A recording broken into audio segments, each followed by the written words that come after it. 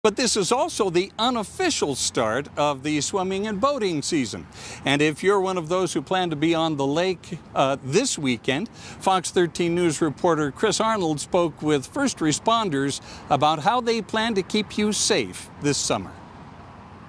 He attracted uh, people and was willing to help people at all times. Lino Franco remembers his son Caleb fondly. He's a humble guy, too.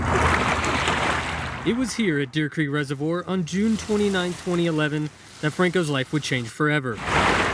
He says his 17 year old son was with his two brothers and two cousins out in the water. When Caleb cramped up, um, started sliding beneath the water and then um, slipped underneath the water. I was just feeling like he, he was not alive. I just felt in my heart like uh, he is probably drowned. Caleb's body was recovered about 90 minutes later. Well, the water temperature down here is re still really cold you can't survive very long in this water without a life jacket. Which is why local responders and Intermountain Healthcare trauma leaders are teaming up to keep Utahns safe in and around the water as we head into the unofficial kickoff to summer this weekend. Today, they gave away free life jackets to kids and talked about safety protocols just outside of Deer Creek Island Resort. The Center for Disease Control and Prevention says nearly 4,000 adults and children die from unintentional drownings every year. Here in Utah in 2020, there were 45 unintentional drownings, the highest in a decade, according to the Utah Department of Health. Over the last five years, an average of 33 Utahns have died from drowning. I know a lot of people grow up